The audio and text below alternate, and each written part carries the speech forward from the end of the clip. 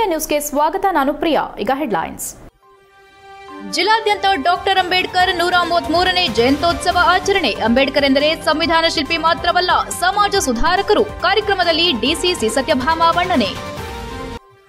ಜಗತ್ ಪ್ರಸಿದ್ಧ ಚನ್ನಕೇಶ್ವ ಸ್ವಾಮಿಯ ಸಂಭ್ರಮ ಸಡಗರದ ಕಲ್ಯಾಣೋತ್ಸವ. ಚನ್ನಕೇಶ್ವ ದೇವರಿಗೂ, ಸೌಮ್ಯ ನಾಯ್ಕಿ, ರಂಗನಾಯ್ಕಿ ಅಮ್ಮನವರಿಗೂ ಇಲ್ಲಿ ಕಲ್ಯಾಣ ಭಾಗ್ಯ. ದೇಗುಲದ ಕಲ್ಯಾಣ ಮಂಟಪದಲ್ಲಿ ಪ್ರತಿ ವರ್ಷ ರಥೋತ್ಸವಕ್ಕೂ ಮುನ್ನ ವಿಜೃಂಭಣೆಯ ವಿವಾಹೋತ್ಸವ. ಅಂಬೇಡ್ಕರ್ ಜನ್ಮ ದಿನಾಚರಣೆ ಅಂಗವಾಗಿ ಸಾರ್ವಜನಿಕರಲ್ಲಿ ಮತದಾನ ಜಾಗೃತಿ ಮತದಾನ ಜಾಗೃತಿ ಫಲಕದೊಂದಿಗೆ ನೂರಾರು ಯುವಕರ ಬೈಕ್ ರ್ಯಾಲಿ, ಮತದಾನ ಮಾಡಲು ದಂಡೋರ ಸಮಿತಿ ತಾಲೂಕು ಅಧ್ಯಕ್ಷ ಕೆಎಂ ನಾಗರಾಜ್ ಮನವಿ. ಡಾಕ್ಟರ್ ಬಿಆರ್ ಅಂಬೇಡ್ಕರ್ ಎಂದರೆ ಸಂವಿಧಾನ ಶಿಲ್ಪಿ ಮಾತ್ರವಲ್ಲದೆ ಅವರು ಕೋಟ್ಯಾಂತರ ಜನರ ಸಮಾಜ ಸುಧಾರಕರಾಗಿದ್ದು ಲಿಖಿತವಾದ ದೃಶ್ಯ ಕಾವ್ಯ ನೀಡಿದ್ದಾರೆ ಎಂದು ಜಿಲ್ಲಾಧಿಕಾರಿ ಸಿ ಸತ್ಯಭಾಮ ಬಣ್ಣಿಸಿದರು. ಹಾಸನ ನಗರದ ಜಿಲ್ಲಾಧಿಕಾರಿ ಕಚೇರಿ ಆವರಣದಲ್ಲಿ ಜಿಲ್ಲಾಡಳಿತದಿಂದ ಹಮ್ಮಿಕೊಳ್ಳಲಾಗಿದ್ದ ಡಾಕ್ಟರ್ ಬಾಬಾ ಸಾಹೇಬ್ ಅಂಬೇಡ್ಕರ್ ಅವರ ನೂರ ಮೂವತ್ಮೂರನೇ ಜಯಂತಿ ಅಂಗವಾಗಿ ಮೊದಲು ಜಿಲ್ಲಾಧಿಕಾರಿ ಕಚೇರಿ ಆವರಣದಲ್ಲಿರುವ ಅಂಬೇಡ್ಕರ್ ಪ್ರತಿಮೆಗೆ ಮಾಲಾರ್ಪಣೆ ಮಾಡಿ ಜ್ಯೋತಿ ಬೆಳಗಿ ನಂತರ ಉದ್ದೇಶಿಸಿ ಮಾತನಾಡಿದ ಅವರು, ಶಿಕ್ಷಣದಿಂದ ಮಾತ್ರ ನಮ್ಮನ್ನು ನೋಡುವ ಶೈಲಿ ಬದಲಾವಣೆ ಮಾಡಬಹುದು. ನವ ಭಾರತದ ನಿರ್ಮಾಣಕ್ಕೆ ಕಾರಣರಾದ ಡಾಕ್ಟರ್ ಬಾಬಾ ಸಾಹೇಬ್ ಅಂಬೇಡ್ಕರ್ ಅವರ ವಿಚಾರಧಾರೆಗಳನ್ನು ಎಲ್ಲರೂ ಅಳವಡಿಸಿಕೊಳ್ಳಬೇಕು ಎಂದರು. ತುಳಿತಕ್ಕೆ ಒಳಗಾದ ಸಮಾಜವನ್ನ ಮೇಲೆತ್ತುವ ನಿಟ್ಟಿನಲ್ಲಿ ಅಂಬೇಡ್ಕರ್ ಅವರ ಕೊಡುಗೆ ಅಪಾರ. ವಿಶ್ವದಲ್ಲೇ ಶ್ರೇಷ್ಠ ಸಂವಿಧಾನ ರಚಿಸುವ ಮೂಲಕ ವಿಶ್ವವೇ ಭಾರತದತ್ತ ತಿರುಗಿ ನೋಡುವಂತೆ ಮಾಡಿರುವ ಅಂಬೇಡ್ಕರ್ ಅವರ ಮಾರ್ಗದರ್ಶನದಲ್ಲಿ ನಡೆಯೋಣ ಎಂದರು. ನಾನು ಇಂದು ಜಿಲ್ಲಾಧಿಕಾರಿಯಾಗಿರುವುದಕ್ಕೆ ಮಹಿಳೆಯರು ಮತ ಹಾಕುವುದಕ್ಕೆ, ಆಸ್ತಿಯಲ್ಲಿ ಪಾಲು ಪಡೆಯುವುದಕ್ಕೆ ಬಾಬಾ ಸಾಹೇಬ್ ಅಂಬೇಡ್ಕರ್ ಅವರು ಬರೆದಿರುವ ಸಂವಿಧಾನವೇ ಕಾರಣವಾಗಿದ್ದು, ದಲಿತರು ಎಲ್ಲಾ ಕ್ಷೇತ್ರಗಳಲ್ಲಿಯೂ ತಮ್ಮ ಛಾಪನ್ನ ಮೂಡಿಸಿದ್ದು, ಇದಕ್ಕೂ ಸಂವಿಧಾನವೇ ಕಾರಣ. ಜನರಲ್ಲಿರುವ ಜಾತೀಯತೆಯ ವಿಷ ಬೀಜಗಳನ್ನು ತೊಡೆದು ಹಾಕಬೇಕು. ತಮ್ಮೊಳಗಿನ ಜಾತೀಯತೆಯನ್ನ ಮರೆತು ಎಲ್ಲರೂ ಸಮಾನರೆಂಬ ಭಾವನೆ ಬಂದಾಗ ಮಾತ್ರ ಅಂಬೇಡ್ಕರ್ ಜಯಂತಿ ಸಾರ್ಥಕವಾಗುತ್ತದೆ ಎಂದು ಕಿವಿಮಾತು ಹೇಳಿದರು. ಅಂಬೇಡ್ಕರ್ ಅವರು ಜಗತ್ತಿಗೆ ಅತ್ಯಂತ ಶ್ರೇಷ್ಠ ಸಂವಿಧಾನ ರಚನೆ ಮಾಡಿ ದೇಶದ ಭದ್ರ ಬುನಾದಿ ಹಾಕಿಕೊಟ್ಟ ಮಹನೀಯ ಸ್ಥಾನದಲ್ಲಿದ್ದಾರೆ. ಸಮಾಜದ ಕಟ್ಟಕಡೆ ವ್ಯಕ್ತಿಗೂ ಸರ್ಕಾರದ ಸೌಲಭ್ಯವನ್ನ ತಲುಪಿಸಲು ಮುಂದಾದವರು. ಅಂಬೇಡ್ಕರ್ ಅವರ ಆಶಯದಂತೆ ವ್ಯಕ್ತಿ ಸಮಾಜದ ಶಕ್ತಿಯಾದರೆ ಒಂದು ಕುಟುಂಬ ಮುಂದುವರಿಯುವ ಜೊತೆಗೆ ಸಮಾಜವೂ ಮುಂದುವರಿಯುತ್ತದೆ ಎಂದರು. ಲೋಕಸಭಾ ಚುನಾವಣೆ ಹಿನ್ನೆಲೆ ನೀತಿ ಸಂಹಿತೆ ಇರುವುದರಿಂದ ಸರಳವಾಗಿ ಆಚರಿಸಿದ್ರು. ಕಾರ್ಯಕ್ರಮದಲ್ಲಿ ಅಪರ ಜಿಲ್ಲಾಧಿಕಾರಿ ಶಾಂತಲಾ, ಜಿಲ್ಲಾ ಪಂಚಾಯಿತಿ ಮುಖ್ಯ ಕಾರ್ಯನಿರ್ವಹಣಾಧಿಕಾರಿ ಪೂರ್ಣಿಮಾ, ಸರ್ಕಾರಿ ನೌಕರರ ಸಂಘದ ಅಧ್ಯಕ್ಷ ಎ ಕೃಷ್ಣೇಗೌಡ ಹಿರಿಯ ಸ್ವಾತಂತ್ರ್ಯ ಹೋರಾಟಗಾರ ಎಚ್ಎಂ ಶಿವಣ್ಣ, ಡಿಎಫ್ಒ ಸೌರಭ್, ಜಿಲ್ಲಾ ಸರ್ಜನ್ ಲೋಕೇಶ್, ಹೆಚ್ಚುವರಿ ಪೊಲೀಸ್ ಅಧೀಕ್ಷಕ ತಮ್ಮಯ್ಯ, ದಲಿತ ಮುಖಂಡರಾದ ಆರ್ಪಿಐ ರಾಜ್ಯಾಧ್ಯಕ್ಷ Satish HK Sandesh, Vijayakumar GO Mahantappa, SD Chandru ಸೇರಿದಂತೆ ಇನ್ನಿತರರು ಪಾಲ್ಗೊಂಡಿದ್ದರು. ಸರ್ಕಾರದ, ಅಂದರೆ ನಮ್ಮ ಇದರ ವತಿಯಿಂದ ಶುಭಾಶಯಗಳನ್ನ ಸಮಾಜ ಕಲ್ಯಾಣ ಇಲಾಖೆ ವತಿಯಿಂದ ಶುಭಾಶಯ. ಆ ಫೋಟೋ ಇದು ಏನಿದೆ? ಬಾಬಾ ಸಾಹೇಬ್ ಅಂಬೇಡ್ಕರ್ ಅವರ ಈ ಒಂದು ಭಾವಚಿತ್ರ ಏನಿದೆ? ಇದು ತುಂಬ ತುಂಬ ರಮಣೀಯವಾಗಿರುವಂಥದ್ದು. ಅವರ ಬಾಲ್ಯ, ಬೇರೆ ಬೇರೆ ಸಂದರ್ಭದಲ್ಲಿ ಅದಕ್ಕಿಂತ ಇದು ಅತ್ಯಂತ ಹೆಚ್ಚು ಆಕರ್ಷಕವಾಗಿರುವಂತಹ ಒಂದು ಅವರ ಭಾವಚಿತ್ರ. ಬೆಳಿಗ್ಗೆ ಎಲ್ಲ ಒಂದು ಪತ್ರಿಕೆಗಳಲ್ಲಿ ನೋಡಿದ ತಕ್ಷಣ ನಮಗೆ ಇವತ್ತು ಅಂದರೆ ಹಿಂದಿನ ಎಲ್ಲ ದಿನಗಳಲ್ಲಿ ನೆನಪಿರುತ್ತೆ. ಆದರೆ ಇವತ್ತು ಹೆಚ್ಚಿನದಾಗಿ ಮೊದಲನೇ ಸತಿ ನಾವು ಏನು ಪತ್ರಿಕೆಯಲ್ಲಿ ಬೇರೆ ಜಾಹೀರಾತು, ಬೇರೆ ಬೇರೆ ನೋಡ್ತೀವಿ. ನೋಡಿದ ತಕ್ಷಣ ಮಹದಾನಂದವಾಯಿತು. ತಮಗೆ ಗೊತ್ತಿದೆ, ಈ ಒಂದು ಚುನಾವಣೆಯ ನೀತಿ ಸಂಹಿತೆ ಇರುವಂತಹ ಸಂದರ್ಭದಲ್ಲಿ ಈ ಒಂದು, ಅಂದರೆ ಪ್ರತಿ ವರ್ಷ, ಪ್ರತಿ ಯಾವಾಗ ಚುನಾವಣೆಗಳು ನಡೆಯುತ್ತೆ, ಆ ಸಂದರ್ಭದಲ್ಲಿ ಈ ಒಂದು ಅವಕಾಶ ಜಿಲ್ಲಾಧಿಕಾರಿಗಳಿಗೆ ಸಿಗೋದು ನನ್ನ ಹೆಮ್ಮೆಯ ಒಂದು ವಿಷಯವಾಗಿದೆ. ನನಗೆ ಹೆಮ್ಮೆ ತರುವಂತಹ ವಿಷಯವಾಗಿದೆ. ಏಕೆಂದರೆ ಏಪ್ರಿಲ್ ಹದಿನಾಲ್ಕು ಸಾಮಾನ್ಯವಾಗಿ ಎಲೆಕ್ಷನ್ ಇಯರ್ಸಲ್ಲಿ ಏಪ್ರಿಲ್ ಹದಿನಾಲ್ಕಾಗಿರ್ಬೋದು ಆಮೇಲೆ ನಮ್ಮ ನಮ್ಮ ಜಗಜೀವನ್ ರಾಮ್ ಅವರ ಜಯಂತಿ ಆಗಿರ್ಬೋದು, ಇವೆರಡನ್ನೂ ಕೂಡ ನೀತಿ ಸಂಹಿತೆ ಸಮಯದಲ್ಲಿ ಬರುತ್ತೆ.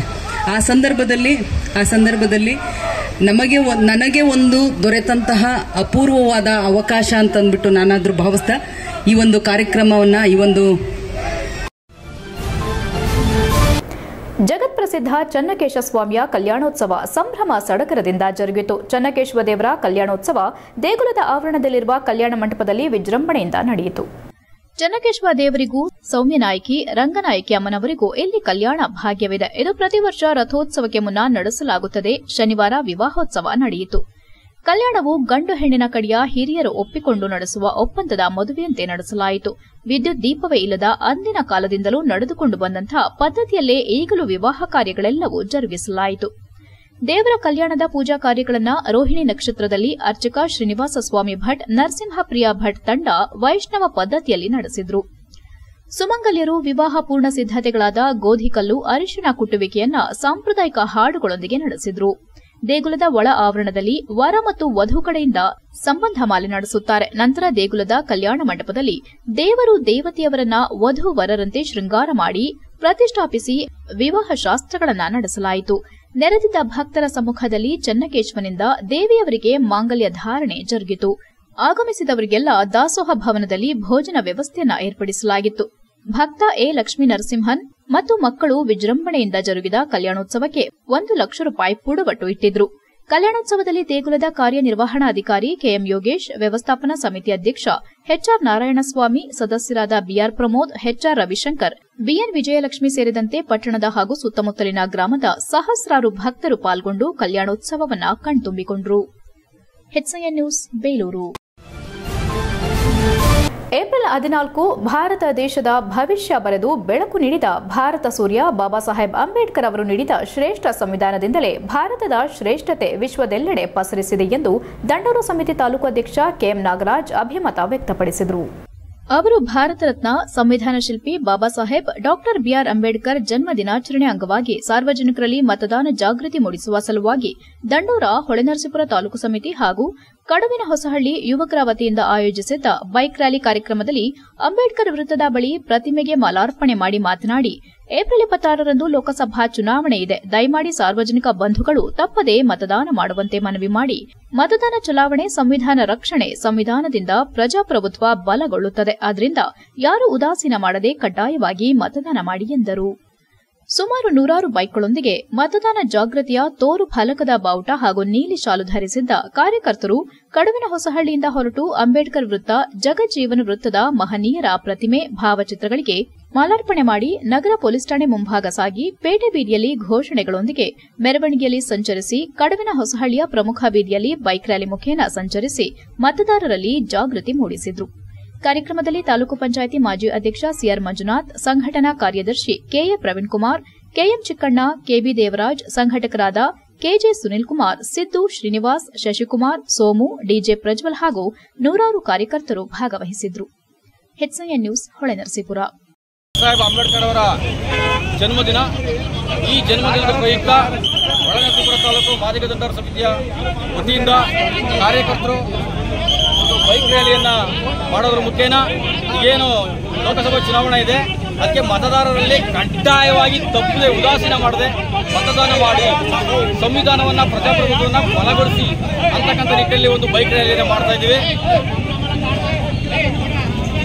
ಈ ರ್ಯಾಲಿ ಅಂಬೇಡ್ಕರ್ ವೃತ್ತದಿಂದ ಜಗಜೀವನ ವೃತ್ತದವರೆಗೆ ಸಾಗಿ, ಪೊಲೀಸ್ ಸ್ಟೇಷನ್ನಿಂದ ತಾಲೂಕು ಕಚೇರಿ ಸಾಗಿ, ಅಲ್ಲಿಂದ ಪಟ್ಟಣದ ಪ್ರಮುಖ ಪೇಟೆ ಬೀದಿಲಿ ಸಾಗಿ ಬರುತ್ತೆ. ನಂತರ ಕಡವಿಸಳ್ಳಿ ಗ್ರಾಮದಲ್ಲಿ ಊರೊಳಗಡೆ ಮೆರವಣಿಗೆ ಮಾಡಿ ಮುಕ್ತಾಯ ಮಾಡುತ್ತೆ. ದಯಮಾಡಿ ನಾವು ಸಾರ್ವಜನಿಕ ಬಂಧುಗಳಲ್ಲಿ ಕೇಳ್ತಿದ್ದೀವಿ ಬಾಬಾ ಸಾಹೇಬ್ ಕೊಟ್ಟಂತ ಸಂವಿಧಾನವನ್ನು ಉಳಿಸ್ಕೋಬೇಕಾಗಿರೋದು ಪ್ರಜಾಪ್ರಭುತ್ವ ರಕ್ಷಿಸಬೇಕಾದ್ರೆ ನಮ್ಮಲ್ಲಿ ಆದ್ಯ ಕರ್ತವ್ಯ. ದಯಮಾಡಿ ಎಲ್ಲರೂ ಇದೇ ಏಪ್ರಿಲ್ ಇಪ್ಪತ್ತಾರು ಹೋಗ ಹೆಚ್ಸಿಎ ನ್ಯೂಸ್ನಲ್ಲೀಗ ಒಂದು ಪುಟ್ಟ ಬ್ರೇಕ್. ಓ ರಮೇಶ. ಹಾಯ್ ಸುರೇಶ ನೀನೇನೋ ಇಲ್ಲಿ? ನನ್ ಮಗನ್ನ ಪಿ ಯು ಜೊತೆಗೆ ಸಿ ಎ ಮಾಡ್ಸೋಣ ಅಂದ್ರೆ ನನ್ ಮಗ ಸ್ಪೋರ್ಟ್ಸ್ ಕಲ್ಚರಲ್ಸ್ ಅಂತಿದ್ದಾನೆ. ಏನ್ ಮಾಡೋದು? ಅದಕ್ಕೆ ಟೆನ್ಷನ್ ಡೈರೆಕ್ಟ್ ಆಗಿ ಕರ್ಕೊಂಡು ಹೋಗಿ ಪ್ರತಿ ಸಲ ಹಂಡ್ರೆಡ್ ಪರ್ಸೆಂಟ್ ರಿಸಲ್ಟ್ ತಗೋತಿರೋ ನಮ್ಮ ಸೆಂಟ್ರಲ್ ಕಾಮರ್ಸ್ ಕಾಲೇಜ್ಗೆ ಸೇರ್ಸು. ಅಲ್ಲಿ ಪ್ರತಿ ವರ್ಷ ಸ್ಟೇಟ್ ರ್ಯಾಂಕ್ಸ್ ಹಾಗೆ ಜಿಲ್ಲೆಗೆ ಫಸ್ಟ್ ರ್ಯಾಂಕ್ ತಗೊಳ್ಳೋ ಜೊತೆಗೆ ಸಿ ಎ ಸಿ ಎಸ್ಗೆ ಕೋಚಿಂಗ್ ಕೊಟ್ಟು ಒಳ್ಳೆ ರಿಸಲ್ಟ್ ಕೊಡ್ತಿರೋ ಜಿಲ್ಲೆಯ ನಂಬರ್ ಒನ್ ಕಾಮರ್ಸ್ ಕಾಲೇಜು ಅಲ್ಲ ಸಿ ಎ ಕೇಳಿದೀನಿ ಸಿ ಎಸ್ ಅಂದ್ರೆ? ಕಂಪನಿ ಸೆಕ್ರೆಟರಿ ಅಂತ. ಅದು ಸಿ ಎ ತರನೇ ಪ್ರೊಫೆಷನಲ್ ಕೋರ್ಸ್ ಇಡೀ ಜಿಲ್ಲೆಯಲ್ಲಿ ಸಿ ಎಸ್ಗೆ ಕೋಚಿಂಗ್ ಕೊಡ್ತಿರೋದು ಇದೊಂದೇ ಕಾಲೇಜು ಜೊತೆಗೆ ಪಿ ಯು ಡಿಗ್ರಿ ಎಲ್ಲಾ ಸ್ಟೂಡೆಂಟ್ಸ್ ಗೂ advance excel S A P tally power B I ತರ ಆಡ್ ಆನ್ ಕೋರ್ಸ್ಗಳು ಇವೆ. ಇಷ್ಟೇ ಅಲ್ಲಪ್ಪ ಡಿಗ್ರಿ ಸ್ಟೂಡೆಂಟ್ಸ್ಗೆ ಪ್ಲೇಸ್ಮೆಂಟ್ ಟ್ರೈನಿಂಗ್ ಕೊಟ್ಟು ಕ್ಯಾಂಪಸ್ ಇಂಟರ್ವ್ಯೂ ಮಾಡಿಸ್ತಾರೆ. ಮತ್ತೆ ಪ್ರತಿ ವರ್ಷ ಕಾಲೇಜಿನ ಐವತ್ತರಿಂದ ಅರವತ್ ವಿದ್ಯಾರ್ಥಿಗಳು ಒಳ್ಳೊಳ್ಳೆ ಕಂಪನಿಗೆ ಸೆಲೆಕ್ಟ್ ಆಗ್ತಿದ್ದಾರೆ. ಜೊತೆಗೆ ಸ್ಪೋರ್ಟ್ಸ್ನಲ್ಲಿ ಈ ಕಾಲೇಜ್ನ ಮಕ್ಕಳು ಸ್ಟೇಟ್ ಮತ್ತೆ ನ್ಯಾಷನಲ್ಸ್ ಗೂ ಹೋಗ್ತಾರೆ. ಕಲ್ಚರಲ್ಸ್ಗೆ ಟ್ಯಾಲೆಂಟ್ ಹಂಟ್ ಅಂತ ಹಬ್ಬನೇ ಮಾಡ್ತಾರೆ. ಹಾಗಾದ್ರೆ ಕಾಮರ್ಸ್ ಮಕ್ಕಳಿಗೆ ಬೇಕಿರೋ ಎ ಟು ಝೆಡ್ ಇದೊಂದೇ ಕಾಲೇಜ್ನಲ್ಲಿ ಸಿಗುತ್ತೆ ಅಂತ ಆಯ್ತು. ಹೌದು ಅದೇ ನಮ್ಮ ಸೆಂಟ್ರಲ್ ಕಾಮರ್ಸ್ ಕಾಲೇಜ್ ಪ್ರವೇಶಾತಿಗಾಗಿ ಸಂಪರ್ಕಿಸಿ central commerce U college. Saibaba temple ಎದುರು ಸಾಲಗಾಮಿ ರಸ್ತೆ Hassan. Central commerce degree college. Krishik foundation building Salgami ರಸ್ತೆ ಹಾಸನ. ದೂರವಾಣಿ ಸಂಖ್ಯೆ double nine one six one four one five double four.